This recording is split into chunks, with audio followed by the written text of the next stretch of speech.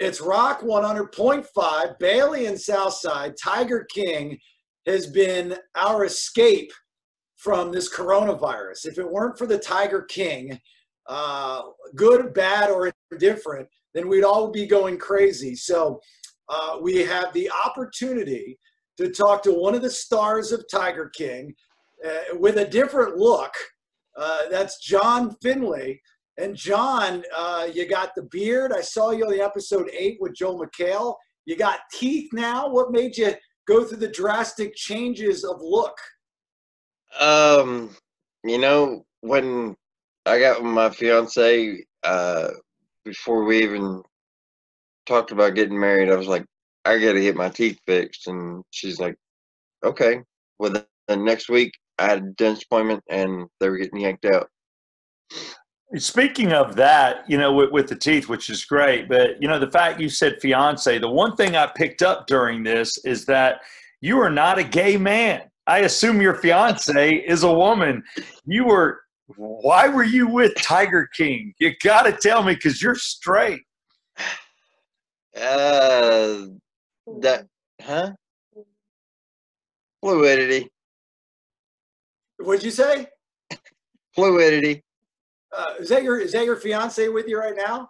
Yes. Yeah, she's she's telling you don't answer that. But I mean, it's a great question Steve asked because we all want to know it. Like we saw, you know, we saw you on the docu series on Netflix, and then when you said like I'm not gay, uh, I know my mind went to the first thing I thought of was God. This Joe Exotic man, he is the master manipulator if he's able to take a straight guy and make him gay, drugs or no gay, uh, drugs or no drugs, dude, that guy has got a pull on people.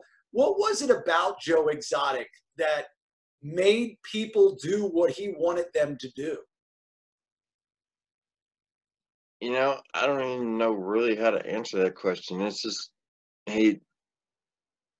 Most of us were there for the animals, and we were doing everything for the animals. It wasn't that we were doing it for him. If something had to be done for the animals, we did it. For him, it was something just his way of controlling. I mean, he did it with everybody. He either broke you down or he did something to get what he wanted. Was it ever John, would you say was it drugs? Because I think it was drugs. It was meth with his other husband. Again, uh, you know, going back to it, that's just what we saw, you know, at home watching this. And you're right. I think you've got to be blown away with how many people have watched this. You have to be blown away with the fame that all of a sudden that you have. I mean, I mean, you do. This was the perfect storm. Uh, this pandemic came at a time you know, where this thing was coming out. And we interviewed Joe, you know, four years ago on this show, Bailey and Southside, about running for president. And it was just a, a, crazy guy running for president, you know, a fun guy. Why, why not? Hell, people looked at Trump the same way at one point in time. But uh, one thing that I, I caught in watching this was the fact that he had a pull on you and he had to pull on uh, his other husband, a, a, younger guy, guy, you know, West Coast. But you could tell with him it was drugs. Was it drugs with you or just the animals?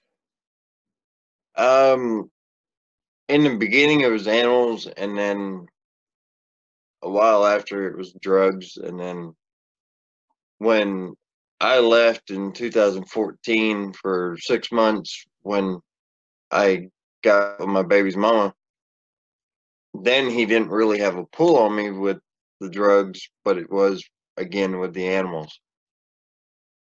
What is this uh, this docu series done for your life? I mean, I, again, I saw the uh, episode eight with Joel McHale on Sunday, and everyone's lives have changed. Obviously, I mean, I'm assuming you wouldn't have had an attorney or probably a press person and stuff before this.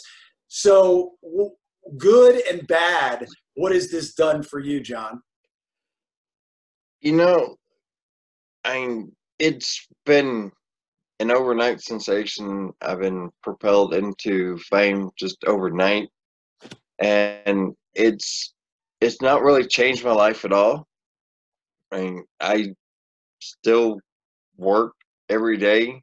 Uh, I still do everything I normally do, but it's most of my day is taken up with interviews and radio or cameos. Oh, what Yeah. kind of cameos are you? What kind of cameos you've been asked to do? Uh, you know, birthday cameos are one of the biggest. Um, shout outs to the frontline heroes of this pandemic. Uh, a lot of shout outs to companies to give them a uplifting message or it's just they've all been fun and some of them have been really serious but we just they're really fun to do i mean if y'all ever get the chance to do it you need to do it Oh, we we do it, especially Steve, every morning. He I- loves to do his shout outs. I, I definitely do. I, you know, I guess it is kind of weird. People have come up going, "Hey, can you leave a message, you know, on my phone and be my answering service or something like that?" So yeah, there are silly things that we've done. Nothing to the level that you're doing. Um, you know, another thing, you know, because it's kind of cool having you on because out of everyone, we kind of thought that you were the most unique, the most real. It's like you know, you kind of knew what was going on, um, and you were like early into it. When was everything filmed? That's a question I have. Like, what was the period of time that this entire thing was put together? The span. uh as far as the producers filming i don't actually know when it started uh i started filming with them in 2018 Were you promised uh, payment uh, when they started filming, or even before that with the reality show? Uh, no, not really. I mean, they bought pictures and videos from me, but that was about it. So he Did was you- probably gonna, he was probably going to screw you over on that too, huh? Uh, from what I hear, a lot of people got screwed over. Yeah, because it's kind of weird because you guys were pretty honest, you know, and the amount of information you would have thought that there was a back end deal. If it became something, you know, then everybody would would get paid. Um, you know, you were pretty straight up and pretty honest. Um, what do you think with the other? And again, I know your fiance's there, but I've I've got to go with what I saw, knowing that you were a husband, one the first, and there was a second husband that you were okay with. Your words. Uh, when he killed himself, accident or on purpose? Uh, that was total accident. I mean, I taught him how gun safety worked and how to actually handle a gun. I never told them that you should hold a gun to your head and do that. But when you read something on the internet, I mean, it you would believe it's normally true, but when something like that, you don't play around. You know, John, you you made it obviously very clear with us and all the other shows that you've done that Joe Exotic, the docu series on Netflix, uh, you know, the good, bad, and the ugly with Joe and everything that went along, especially the big cats. But I said on the air uh, the other day, I'm like, you know, even if you hate the guy, you got to thank him for what he's given to you right now, uh, because you are getting this this fame and this possibly new career. Do you think like that? You're like, as much of an ass jack as Joe Exotic is and was, look at where I'm not at now. I mean, hell, I wouldn't be on with Bailey and Southside in Atlanta if it weren't for Joe Exotic. I mean, these kinds of things have to resonate with you, right? I have had I've had good and I've had bad, but I don't really focus on the negative. I just focus on the positive, and that's how I really look at life. I mean, there's no other way to look at it. I mean, I- if you focus on the negative, it's going to drag you down and put you further down there. Who knows where you're going to be? Yeah. What about the rumors of Joe being afraid of tigers? We've heard that come out. It's something we discussed on our show today. I mean, I see you laughing. We also agree that we thought it was kind of a BS as well. I'm like, I don't think the dude's afraid of tigers. Uh, you And know, didn't- and John, you didn't have a chance to rebuttal because that was from Kirk. Was it Kirkham, right? The the producer, and he Yep. was at the end. So I believe we're the first to talk to you after episode eight. So you went first, and then you got to hear everybody else go. So with Steve's question, that's great. Some of the things that they said, especially about him being afraid of the big cats, did you disagree with any of that stuff? You know, when you're in that industry, you have to have some type of fear of them. But in the beginning, Joe didn't have a fear. But I think after his accidents that he had, uh, the fear was trying, beginning to take over. But he was never actually scared of them that I know of. All right. Well, tell me this much because I watched. what it have been after one of the accidents? Like, I'll be honest with you. I really thought that that was a girl that had her arm ripped off. I did not Dude, know. Man, We've told you, Steve, it's a dude. I'm telling you. I'm telling you, John Finlay, laugh if you want. I thought it was a girl. I really thought it was a girl. I thought it was a girl too. Nate's the one that got on me and said it was a dude. So, is she a girl? Is she a guy? And did it shock you that either she or he, which you'll answer in a second, went back to work in four days? Um, I'm not sure if I'm really supposed to say this or not, but Okay. it is it is a girl, but identifies as a guy. Oh, Okay. okay. Uh, Nate, is that what you said? Nate, did Yeah, you yeah. say that? Yeah. Yeah. Okay. Tra- she's like transitioning to, to he, right? Okay. Yeah, nothing Oh. wrong. Hey, there's Okay. not. By the way, there's nothing wrong with it. We're No. just trying to look.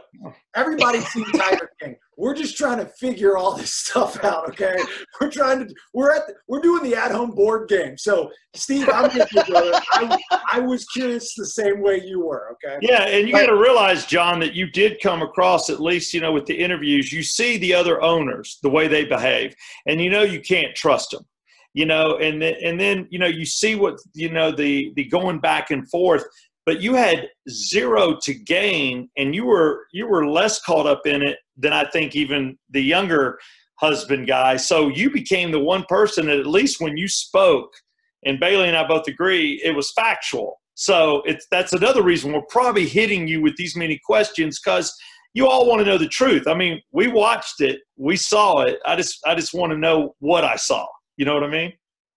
Yeah, going back to the board game we're playing, we're playing Tiger King Clue, huh? yeah. Yeah. uh, But yeah. I I was around them for 16 years.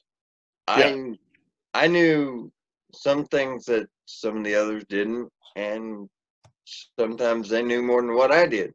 But it, as far as really knowing everything, I don't think everybody does know everything that went on. Did he ever ask you if you would kill Carole Baskin? You know, he joked around it a lot with everybody and pretty much asked jokingly to everybody, just like Rick said, and we all pretty much blew it off. but you were close to Joe, where you guys were sharing intimate moments and all that good stuff one on one. Did he ever turn to you and say, "Look, honey, I ain't joking. I need you to do it, or somebody to do it"? No, he never never really came to me like that. It was just he said something to me and I just went on about it. Yeah. It looked like he ran his mouth a little bit, like kind of like over the top, like I'm going to put your head in a jar. I mean, obviously, I did not think the man was literally going to put her head in a jar, but he did kind of just run his mouth a little bit. And uh, was he just all bark and no bite, or was there some bite there? Uh, Or should I say, was there was he all roar and no bite?